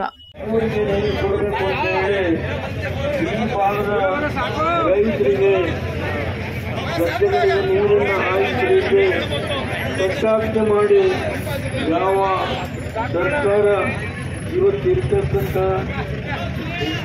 ಯಾವ ಸಿದ್ದರಾಮಯ್ಯನವರು ಡಿ ಕೆ ಶಿವಕುಮಾರ್ ಅವರು ಈ ಭಾಗದ ಜನ ನೀರು ತೆಗೆದುಕೊಂಡು ಕೂಡಲು ಸರ್ಕಾರಿ ಆಸ್ತಿ. ಇದು ಎರಡು ಲಕ್ಷ ಎಕರೆ ನಮ್ಮ ಜಿಲ್ಲೆಯನ್ನು ಮುಳುಗಡೆಯಾಗಿದೆ ಹಾಸನ ಜಿಲ್ಲೆಯಲ್ಲಿ ಹಾಸನ ಜಿಲ್ಲೆಯ ಜನತೆಗೆ ಎಡಗಡೆಗಳಲ್ಲಿ ಬಲಗಡೆಗಳಲ್ಲಿ ನೀರು ತೆಗೆದುಕೊಳ್ಳತಕ್ಕಂಥ ಕಟ್ಟಾಕ್ಷೆ ಮಾಡಿ ತೀರ್ಮಾನ ಮಾಡಿದ್ದಾರೋ ಇದರಿಂದ ನಮ್ಮ ಜನರ ಅನೇಕ ಕಡೆ ಮಡಿದು ಹೋಗಿದೆ ಇದೆಲ್ಲ ನನಗೆ ಗೊತ್ತಿದೆ ದಯಮಾಡಿ ಈ ವಿಷಯದಲ್ಲಿ ಮನೆಯಂತೆ ಹೋರಾಟ ಮಾಡಿ ಲೋಕಸಭೆಯಲ್ಲಿ ರಾಜ್ಯಸಭೆಯಲ್ಲಿ ನಾನು ಏನು ಹೋರಾಟ ಮಾಡಿದೆ ಅನ್ನೋದು ಕೆಲವರು ನೋಡಿರಬಹುದು ಇತ್ತೀಚಿನ ದಿನಗಳಲ್ಲಿ ಪುಸ್ತಕದ ಅಂಗಡಿಗಳಿಗಿಂತ ಮದ್ಯದಂಗಡಿ ಹೆಚ್ಚಾಗುತ್ತಿರುವುದು ವಿಷಾದನೀಯ ಸಂಗತಿ. ಆದ್ದರಿಂದ ಎಲ್ಲರೂ ಪುಸ್ತಕ ಓದಬೇಕು. ಒಳ್ಳೆಯ ಪುಸ್ತಕ ಮನುಷ್ಯನ ಬದುಕನ್ನೇ ಬದಲಾಯಿಸುತ್ತದೆ ಎಂದು ಜಿಲ್ಲಾ ಇಪ್ಪತ್ತೆರಡನೆಯ ಕನ್ನಡ ಸಾಹಿತ್ಯ ಸಮ್ಮೇಳನದ ಸರ್ವಾಧ್ಯಕ್ಷೆ ಶೈಲಜಾ ಹಾಸನ್ ಹೇಳಿದರು. ಬೇಲೂರು ತಾಲೂಕು ಸರ್ಕಾರಿ ನೌಕರರ ಸಂಘದಲ್ಲಿ ಹಮ್ಮಿಕೊಂಡಿದ್ದ ಕನ್ನಡ ಸಾಹಿತ್ಯ ಪರಿಷತ್ತು ತಾಲೂಕು ಘಟಕದ ಆಶ್ರಯದಲ್ಲಿ ಮಧುಮಾಲತಿ ರುದ್ರೇಶ್ ಅವರ ಸ್ವಾತಿಹನಿ ಪ್ರೀತಿ ಮುತ್ತಾದಂತೆ ಹಾಗೂ ಕುಮಾರಿ ಶಶಿ ಎಂಟಿ ಮಂಡಲಮನಿ ಅವರ ಬೆಳ್ಳಿ ಬೆಳಕು ಕವನ ಸಂಕಲನ ಬಿಡುಗಡೆ ಸಮಾರಂಭ ಕಾರ್ಯಕ್ರಮವನ್ನು ಉದ್ಘಾಟಿಸಿ ಮಾತನಾಡಿದ ಅವರು ಐತಿಹಾಸಿಕ ಬೇಲೂರಿನಲ್ಲಿ ಅನೇಕ ಸಾಹಿತಿಗಳು ಕವಿಗಳಿದ್ದಾರೆ. ಎಂದು ಮಧುಮಾಲತಿ ಶಶಿ ಅವರ ಸೇರ್ಪಡೆಯಾಗುತ್ತಿರುವುದು ಸಂತೋಷವಾಗಿದೆ. ಮನುಷ್ಯನ ಅಂತರಾಳದಲ್ಲಿ ವಿಭಿನ್ನ ಭಾವನೆ ಗುಚ್ಚವಿದ್ದು ಅದನ್ನು ಹೊರಗೆಡವಿ ಲೋಕಹಿತಕ್ಕೆ ಮುಡಿಸಿ ಮುಕ್ತಿ ಹೊಂದುವುದೇ ನಿಸ್ವಾರ್ಥ ಬದುಕಾಗಿದೆ. ಓದು ಮನುಷ್ಯನನ್ನ ಮನುಷ್ಯನನ್ನಾಗಿ ನೋಡುವುದನ್ನ ಕಲಿಸುತ್ತದೆ. ಎಂದಿನ ಮಕ್ಕಳಿಗೆ ಕಂಪ್ಯೂಟರ್, ಮೊಬೈಲ್ ಅಟ್ಯಾಚ್ಮೆಂಟ್ ಜಾಸ್ತಿ ಇರುತ್ತದೆ. ಪುಸ್ತಕ ಓದುವ ಹವ್ಯಾಸ ಕಡಿಮೆಯಾಗುತ್ತಿದೆ. ಪೋಷಕರು ಮಕ್ಕಳಿಗೆ ಬಾಲ್ಯದಲ್ಲಿಯೇ ಅವರ ವಯಸ್ಸಿಗೆ ಅನುಗುಣವಾಗಿ ಮೊಬೈಲ್ ಬದಲಿಗೆ ಪುಸ್ತಕಗಳನ್ನು ಕೊಡಿಸಿ ಓದಲು ಪ್ರೇರೇಪಿಸಬೇಕು. ಜೊತೆಗೆ ಪೋಷಕರು ಸಹ ಅವರೊಟ್ಟಿಗೆ ಓದುವ ಹವ್ಯಾಸ ಬೆಳೆಸಿಕೊಳ್ಳಲು ಮುಂದಾಗಬೇಕು ಎಂದರು. ಮೈಸೂರು ಮುಕ್ತ ವಿಶ್ವವಿದ್ಯಾಲಯದ ಸಂಯೋಜನಾ ಅಧಿಕಾರಿ ಸಾಹಿತಿ ಅವರೆಕಾಡು ವಿಜಯಕುಮಾರ್ ಮಾತನಾಡಿ, ವಾಸ್ತವ ಜಗತ್ತಿನಲ್ಲಿ ಓದುವ ಭಾಗ್ಯ ಒಂದಾದರೆ ಬರೆಯುವ ಭಾಗ್ಯವೂ ಒಂದಾಗಿದೆ. ಬರವಣಿಗೆ ಸುಲಭದ ಮಾತಲ್ಲ, ಕಾವ್ಯಕ್ಕೆ ತನ್ನದೇ ಆದ ಶಕ್ತಿ ಮತ್ತು ಸ್ವಂತಿಕೆ ಹೊಂದಿದೆ. ಭಾಷೆಗೆ ಪ್ರಮುಖ ಹತ್ತಿರವೆಂದರೆ ಅದು ಕಾವ್ಯ, ಸಾಮಾಜಿಕ ಸ್ಥಿತಿಗತಿಗಳ ಬಗ್ಗೆ ವಿವರ ಕಾವ್ಯದಲ್ಲಿರುತ್ತದೆ. ಸಾಮಾನ್ಯ ಜನರ ಆಶೋತ್ತರಗಳನ್ನು ಚಿತ್ರಿಸುವ ಕೆಲಸ ಎಂದು ಕಾವ್ಯ ರಚನೆಕಾರರಾದ ಮಧುಮಾಲತಿ ಶಶಿ ಅವರು ಬರೆದಿದ್ದಾರೆ ಎಂದರು. ಕೃತಿ ಬಿಡುಗಡೆ ಹಾಗೂ ಪರಿಚಯವನ್ನ ಕಸಪ ಮಾಜಿ ಅಧ್ಯಕ್ಷ ಟಿಡಿ ತಮ್ಮಣ್ಣಗೌಡ ಹಾಗೂ ಸಂಶೋಧಕ ಎಸ್ ವಟಿ ಕಾವ್ಯದ ಬಗ್ಗೆ ವಿವರಿಸಿದರು.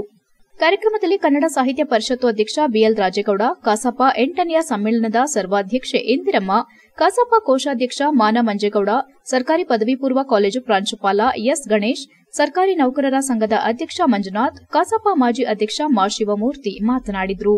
ಕಾರ್ಯಕ್ರಮದಲ್ಲಿ ಕಸಬ ಗೌರವ ಕಾರ್ಯದರ್ಶಿ ಬಿವಿ ಶಿವರಾಜು, ಆರ್ಎಸ್ ಮಹೇಶ್ ಸಂಘಟನಾ ಕಾರ್ಯದರ್ಶಿ ಬೊಮ್ಮಡಿಹಳ್ಳಿ ಕುಮಾರಸ್ವಾಮಿ ಸ್ವಾತಿಹನಿ ಪ್ರೀತಿ ಮುತ್ತಾದಂತೆ ಕವಯಿತ್ರಿ ಮಧುಮಾಲತಿ ರುದ್ರೇಶ್ ಬೆಳ್ಳಿ ಬೆಳಕು ಕವಯಿತ್ರಿ ಕುಮಾರಿ ಶಶಿ ಎಂಟಿ ಮಂಡಲಮನೆ ಸೇರಿದಂತೆ ಸಾಹಿತ್ಯ ಪರಿಷತ್ತಿನ ಪದಾಧಿಕಾರಿಗಳು ಹಾಜರಿದ್ದರು.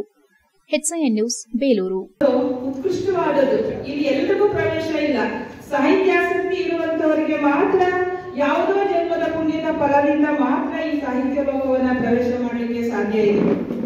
ನೋಡಿ, ಎಲ್ರಿಗೂ ಅನುಭವಗಳಾಗುತ್ತೆ, ಎಲ್ಲರಿಗೂ ನೋವಾಗುತ್ತೆ, ಎಲ್ಲರಲ್ಲೂ ಕೂಡ ಭಾವನೆಗಳು ಮಾತ್ರ ತನ್ನ ನೋವು, ನಲಿವು, ಮತ್ತೊಂದರ ಅನುಭವವನ್ನ ತನ್ನ ಪದಗಳಲ್ಲಿ, ತನ್ನ ಕವಿತೆಗಳಲ್ಲಿ ಹಿಡಿದಿಡ್ತಾ ಹೋಗ್ತಾನೆ, ಅದು ಅವನ ಶಕ್ತಿ ಎಲ್ಲರಿಗೂ ಆ ಶಕ್ತಿ ಇರಲಿಕ್ಕೆ ಸಾಧ್ಯತೆ ಇಲ್ಲ. ಈ ಶಕ್ತಿಯನ್ನ ನಾವು ಸದುಪಯೋಗ ಪಡಿಸ್ಕೊಳ್ಬೇಕಾಗುತ್ತೆ ಕವಿತೆಯನ್ನ ಬರೆಯುವವನು ಅಧ್ಯಯನ ಶುರು ಆಗ್ಬೇಕು. ಪದಗಳು ನಮ್ಮ ಹಿಡಿತಕ್ಕೆ ಸಿಗಬೇಕು ಪದಗಳು ನಮ್ಮ ಕಣ್ಮುಂದೆ ಕುಣಿಬೇಕು ಅಂತ ಅಂದ್ರೆ ನಾವು ಅಧ್ಯಯನವನ್ನ ಮಾಡಬೇಕು. ಹೆಚ್ಚು ಹೆಚ್ಚು ಕೃತಿಗಳನ್ನ ನಾವು ಓದಿದಷ್ಟು ನಮ್ಮ ಅನುಭವ ಹೆಚ್ಚಾ ಹೋಗುತ್ತೆ? ಹಾಗಾಗಿ ಬರವಣಿಗೆ ನಮಗೆ ಸುಲಭ ಆಗ್ತಾ ಹೋಗುತ್ತೆ. ಸುಮ್ಮನೆ ಬರೀತೀನಿ ಸುಮ್ಮನೆ ಅಕ್ಷರಗಳಲ್ಲಿ, ಪದಗಳಲ್ಲಿ ನಾನು ಹಿಡಿದಿಡ್ತೀನಿ ಅಂತಂದ್ರೆ ಅದು ಸೌಹೃದಯರನ್ನ ತಲುಪಲಿಕ್ಕೆ ಒಳ್ಳೆ ಕಾವ್ಯ ಆಗ್ಬೇಕು. ಅಂದ್ರೆ ಯಾವ ತರ ಬೇಕಾದ್ರೆ ಡ್ಯಾನ್ಸ್ ಮಾಡ್ಬೋದು. ಎಡಕ್ಕೆ ಹೋದ್ರು ಡ್ಯಾನ್ಸ್ ಬಲಕ್ಕೆ ಹೋದ್ರು ಡ್ಯಾನ್ಸ್ ಮುಂದೆ ಹೋದ್ರು ಡ್ಯಾನ್ಸ್ ಹಿಂದೆ ಹೋದ್ರು ಡ್ಯಾನ್ಸ್ ಮಾಡ್ಬೋದು, ಕುಚಿಪುಡಿ ಮಾಡ್ಬೋದು ಬ್ರೇಕ್ ಡ್ಯಾನ್ಸ್ ಮಾಡ್ಬೋದು. ಯಾವ ಅನ್ನೋದಕ್ಕೆ, ಕಾವ್ಯ ಅನ್ನೋದಕ್ಕೆ ನಿಖರವಾಗಿ ನಿಲ್ತೀವಿ ಒಂದ್ ಕಾಲದಲ್ಲಿ ನಿಂತು ಡ್ಯಾನ್ಸ್ ಮಾಡ್ತೀವಿ ಅಂತಿಲ್ಲ, ಎರಡ್ ಕಾಲದಲ್ಲಿ ಮಾಡ್ತೀವಿ ಅಂತಿಲ್ಲ. ಅದು ಹೆಂಗ್ ಬೇಕಾದ್ರೆ ಟ್ವಿಸ್ಟ್ ಮಾಡ್ಬೋದು. ಯಾವ ರೀತಿ ಮಾರ್ಪಾಡು ಬೇಕಾದ್ರೆ ಪಡಿಬೋದು ಅದಕ್ಕೆ ನಮ್ಮ ವಿದ್ವಾಂಸರು ಏನ್ ಹೇಳ್ತಾರೆ ಅಂದ್ರೆ, ಕಾವ್ಯ ಅನ್ನುವಂಥದ್ದು ನಾಟ್ಯವಿದ್ದಂತೆ, ನೃತ್ಯವಿದ್ದಂತೆ. ಯಾವ ಕಡೆ ಬೇಕಾದ್ರೆ ನಾವು ಅದನ್ನ ಬದಲಾವಣೆ ಮಾಡ್ಕೊಳ್ಬಹುದು ಆದ್ರೆ ಗದ್ಯ ಅನ್ನುವಂಥದ್ದು ನಡಿಗೆ ಇದ್ದಂತೆ. ಅಂದ್ರೆ ಸ್ಟ್ರೈಟ್ ಆಗಿ ನಾವು ಎಲ್ಲಿವರೆಗೂ ನಡಿಬೇಕು, ಯಾವ ಉದ್ದೇಶ ಇಟ್ಕೊಂಡು ಹೆಜ್ಜೆ ಅಲ್ಲಿಗೆ ಮಾತ್ರ ಅದು ಸೀಮಿತವಾಗಿರ್ತದೆ. ಕಾವ್ಯ ಅದು ಒಂದು ನೃತ್ಯಕ್ಕೆ ಹೋಲಿಸ್ತದೆ. ಕಾವ್ಯಕ್ಕೆ ವಿಶೇಷವಾದ ಒಂದು ಶಕ್ತಿ ಇರ್ತದೆ, ಒಂದು ಸ್ವಂತಿಕೆ ಇರ್ತದೆ. ಜೊತೆಗೆ ಕವಿ ಮನಸ್ಸಿನ ಆಸೆಗಳಿಗೆ, ಕವಿ ಮನಸ್ಸಿನ ತುಮುಲಗಳಿಗೆ ಕಾವ್ಯದ ರೂಪಕವನ್ನ ಸೇರಿಸೋದು ಮತ್ತೆ ಈ ಭಾಷೆ ಎನ್ನುವಂಥದ್ದು ಈ ಕವಿಗೆ ಒಂದು ಪ್ರೇರಕವಾದ ಶಕ್ತಿಯಾಗಿರ್ತದೆ. ಈ ಕಾವ್ಯ ಸಂವಿಧಾನ ಶಿಲ್ಪಿ ಡಾಕ್ಟರ್ ಬಿಆರ್ ಅಂಬೇಡ್ಕರ್ ಅವರು ಇಡೀ ವಿಶ್ವಕ್ಕೆ ಮಾದರಿಯಾದ ಸಂವಿಧಾನವನ್ನು ರಚಿಸಿ ನಮ್ಮ ದೇಶಕ್ಕೆ ಅರ್ಪಣೆ ಮಾಡಿದ್ದು ಬಾಬಾ ಸಾಹೇಬರಿಗೆ ನಾವೆಲ್ಲರೂ ಸದಾಕಾಲ ಕೃತಜ್ಞರಾಗಿರಬೇಕಾಗುತ್ತದೆ ಎಂದು ಹಾಸನ ಲೋಕಸಭಾ ಕ್ಷೇತ್ರದ ಕಾಂಗ್ರೆಸ್ ಅಭ್ಯರ್ಥಿ ಶ್ರೇಯಸ್ ಪಟೇಲ್ ತಿಳಿಸಿದರು. ಅವರು ಹೊಳೆನರಸೀಪುರ ಪಟ್ಟಣದ ಡಾಕ್ಟರ್ ಬಿಆರ್ ಅಂಬೇಡ್ಕರ್ ವೃತ್ತದಲ್ಲಿರುವ ಡಾಕ್ಟರ್ ಬಿಆರ್ ಅಂಬೇಡ್ಕರ್ ಅವರ ಕಂಚಿನ ಪುತ್ಥಳಿಗೆ ಡಾಕ್ಟರ್ ಬಿಆರ್ ಅಂಬೇಡ್ಕರ್ ಅವರ ಜನ್ಮ ದಿನಾಚರಣೆ ಪ್ರಯುಕ್ತ ಮಾಲಾರ್ಪಣೆ ಮಾಡಿ ಬಾಬಾ ಸಾಹೇಬರಿಗೆ ಗೌರವ ಅರ್ಪಿಸಿ ಮಾತನಾಡಿದರು.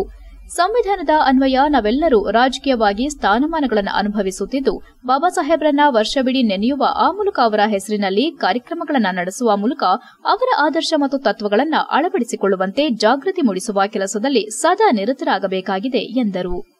ಸಂವಿಧಾನವನ್ನ ಸಂರಕ್ಷಿಸುವ ಮೂಲಕ ಜೋಪಾನವಾಗಿ ಕಾಪಾಡುವ ಗುರುತರ ಜವಾಬ್ದಾರಿ ನಮ್ಮೆಲ್ಲರ ಮೇಲಿದ್ದು, ಇದರ ಮಹತ್ವವನ್ನ ಸೂಕ್ಷ್ಮವಾಗಿ ಅರ್ಥ ಮಾಡಿಕೊಳ್ಳುವ ಮೂಲಕ ನಮ್ಮ ಸಂವಿಧಾನವನ್ನ ಜಗತ್ತಿಗೆ ಶ್ರೇಷ್ಠ ಗ್ರಂಥವಾಗಿ ಅಪ್ಪಿಕೊಳ್ಳಬೇಕಿದೆ ಎಂದರು.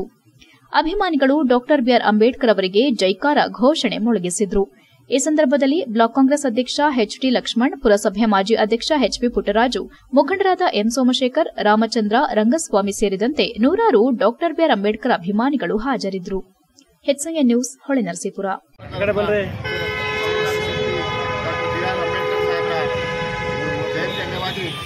ಇವತ್ತು ನಾವು ನಮ್ಮ ತಾಲೂಕಿನ ಕಾಂಗ್ರೆಸ್ ಪಕ್ಷದ ವತಿಯಿಂದ ಇವತ್ತು ಡಾಕ್ಟರ್ ಬಿ ಆರ್ ಅಂಬೇಡ್ಕರ್ ಅವರ ಪುತ್ರಿಗೆ ಒಂದು ಹಾರ ಕಾರ್ಯಕ್ರಮ ಇಟ್ಕೊಂಡಿದ್ವಿ ನೆರವೇರಿಸಿದ್ವಿ ಅಂಬೇಡ್ಕರ್ ಸಾಹೇಬರು ಒಂದು ಪ್ರಪಂಚಕ್ಕೆ ದೇಶಕ್ಕೆ ಮಾದರಿಯಾದಂಥ ಒಬ್ಬರು ವ್ಯಕ್ತಿ. ಅವ್ರ ಹೆಸರು ಅಜರಾಮರಾಗಿರ್ಬೇಕು ಅಂತ ನಾವೆಲ್ಲ ಹೆಚ್ಚಿನ ನ್ಯೂಸ್ನಲ್ಲೀಗ ಒಂದು ಪುಟ್ಟ ಬ್ರೇಕ್. ಹಾಸನದಲ್ಲಿ ಇಪ್ಪತ್ತೆಂಟು ವರ್ಷಗಳಿಂದ ಜನತೆಗೆ ಅತ್ಯುತ್ತಮವಾದ ವೈದ್ಯಕೀಯ ಸೇವೆಯನ್ನು ನೀಡುತ್ತಿರುವ Hemavathi multi speciality hospital Hassan. ನಮ್ಮಲ್ಲಿ ದಿನದ ಇಪ್ಪತ್ನಾಲ್ಕು ಗಂಟೆಯೂ ಆಕ್ಸಿಡೆಂಟಲ್ ಇಂಜುರೀಸ್ ಮತ್ತು ಎಮರ್ಜೆನ್ಸಿ ಸರ್ವಿಸ್ಗಳನ್ನು ಹೊಂದಿದೆ. ಹೇಮಾವತಿ ಆಸ್ಪತ್ರೆಯ ಡಾಕ್ಟರ್ ನಿಖಿಲ್ ಆರ್ ಭಟ್ ರವರು ಎಂಎಸ್ ಆರ್ಥೋಪೆಡಿಕ್ನಲ್ಲಿ ಚಿನ್ನದ ಪದಕ ಪಡೆದು ಸಿಂಗಾಪುರ್ ಜನರಲ್ ಹಾಸ್ಪಿಟಲ್ನಲ್ಲಿ ಫೆಲೋಶಿಪ್ ಇನ್ ಜಾಯಿಂಟ್ ರಿಪ್ಲೇಸ್ಮೆಂಟ್ ಸರ್ಜರಿಯ ಪದವಿ ಪಡೆದು ಸೇವೆಯನ್ನ ಸಲ್ಲಿಸಿರುತ್ತಾರೆ.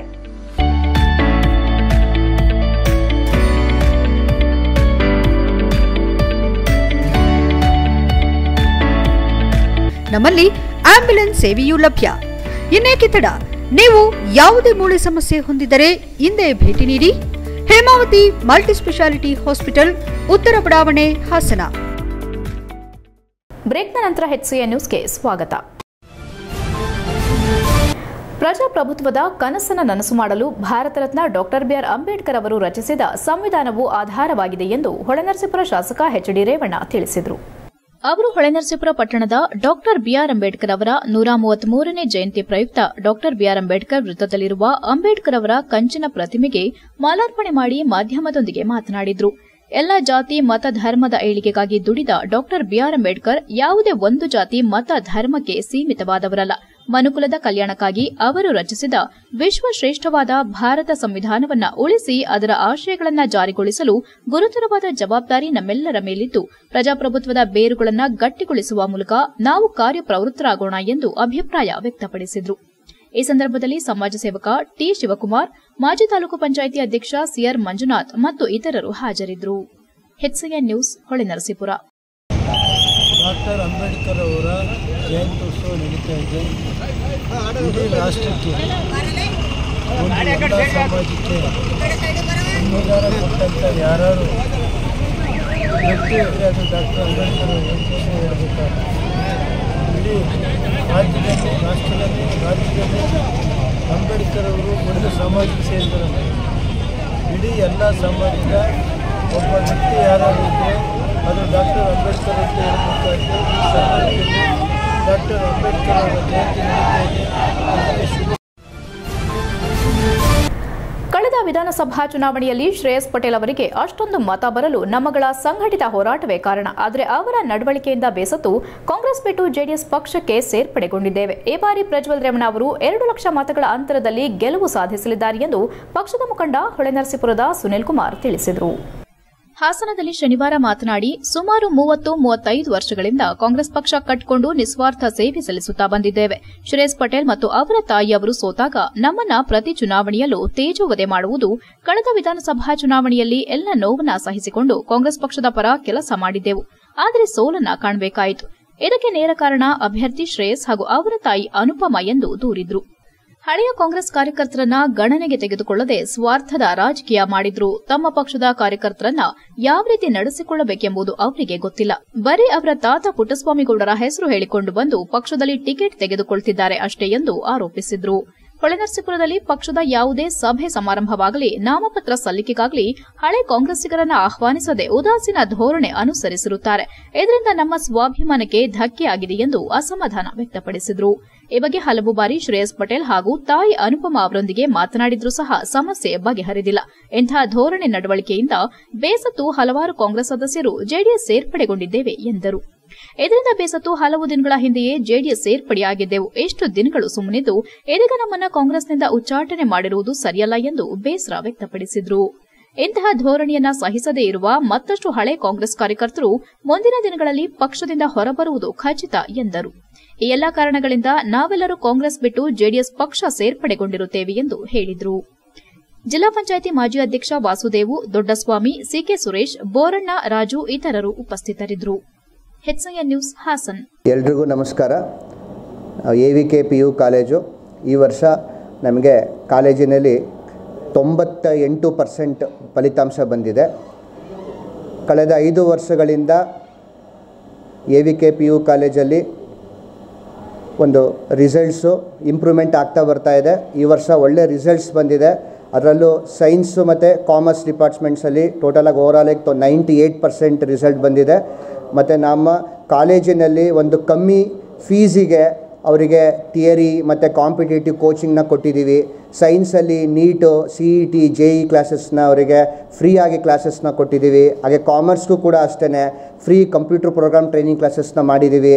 ಹಾಗೆಯೇ ಸಿ ಎ ಫೌಂಡೇಶನ್ ಕ್ಲಾಸಸ್ಸು ನಾವು ಈ ಸತಿಯಿಂದ ಫ್ರೀಯಾಗಿ ಕಾಲೇಜಲ್ಲಿ ಕಾಲೇಜಲ್ಲಿ ಮಾಡ್ತಾಯಿದ್ದೀವಿ ಹಾಗೆ ನಾವು ಇಲ್ಲಿ ಬಂದಿರೋಂಥ ಉದ್ದೇಶ ಏನು ಅಂತ ಹೇಳಿದ್ರೆ, ನಾವು ಈ ಟೆಂತ್ ಎಕ್ಸಾಮ್ಸ್ ಆಗಿರೋ ಅಂಥ ವಿದ್ಯಾರ್ಥಿಗಳಿಗೆ ನಾವು A V K P U ಕಾಲೇಜನ್ನ managed by Quark academy ಈ ಕ್ವಾರ್ಕ್ ಅಕಾಡೆಮಿ ಅನ್ನೋದು ಒಂದು NEET C E T coaching ಕೊಡೋವಂಥ ಒಂದು ಸೆಂಟರು ಈಗ Quark Academy A V K ಕಾಲೇಜನ್ನ ಒಂದು ವಹಿಸ್ಕೊಂಡು ಒಂದು ಕಾಂಪಿಟೇಟಿವ್ ಟೀಮ್ ಮುನ್ನಡೆಸ್ತಾ ಇದೆ. ಈಗ ಸಂಕ್ಷಿಪ್ತ ಸುದ್ದಿಗಳು. ಮತದಾನದಿಂದ ಯಾರು ವಂಚಿತರಾಗಬಾರದು? ಅರ್ಹ ಮತದಾರರು ತಮ್ಮ ಹಕ್ಕನ್ನು ಚಲಾಯಿಸಬೇಕೆನ್ನುವ ಉದ್ದೇಶದಿಂದ ಎರಡ್ ಸಾವಿರದ ಇಪ್ಪತ್ನಾಲ್ಕರ ಲೋಕಸಭಾ ಚುನಾವಣೆಯಲ್ಲಿ ಭಾರತದ ಚುನಾವಣಾ ಆಯೋಗ ಮೊದಲ ಬಾರಿಗೆ ಎಂಬತ್ತೈದು ವರ್ಷ ಮೇಲ್ಪಟ್ಟ ಹಿರಿಯ ನಾಗರಿಕರಿಗೆ ಮತ್ತು ಶೇಕಡ ನಲವತ್ತರಷ್ಟು ಅಂಗವೈಕಲ್ಯ ಹೊಂದಿರುವ ವಿಕಲಚೇತನರಿಗೆ ಐಚ್ಛಿಕ ಮನೆ ಮತದಾನ ಸೌಲಭ್ಯದ ಮೂಲಕ ಚುನಾವಣಾ ಅಧಿಕಾರಿಗಳ ಮೀಸಲಾದ ತಂಡವು ಭದ್ರತಾ ಅಧಿಕಾರಿಗಳೊಂದಿಗೆ ಬೇಲೂರು ತಾಲೂಕಿನ ಅರೆಹಳ್ಳಿ ಪಟ್ಟಣದ ಲಿಂಗಾಪುರ ಗ್ರಾಮದ ಮತದಾರರ ನಿವಾಸಕ್ಕೆ ಭೇಟಿ ನೀಡಿ ಅರ್ಹ ಮತದಾರರಿಂದ ಸುರಕ್ಷಿತ ಹಾಗೂ ಪಾರದರ್ಶಕತೆಗಾಗಿ ಸಂಪೂರ್ಣವಾಗಿ ವಿಡಿಯೋಗ್ರಾಫ್ ಮಾಡುವ ಮೂಲಕ ಮತದಾನ ಪ್ರಕ್ರಿಯೆಯನ್ನು ಪೂರ್ಣಗೊಳಿಸಿದ್ದಾರೆ. ನ್ಯೂಸ್ ಬೇಲೂರು. ಕೊನೆಯಲ್ಲಿ ಮತ್ತೊಮ್ಮೆ ಮುಖ್ಯಾಂಶಗಳು.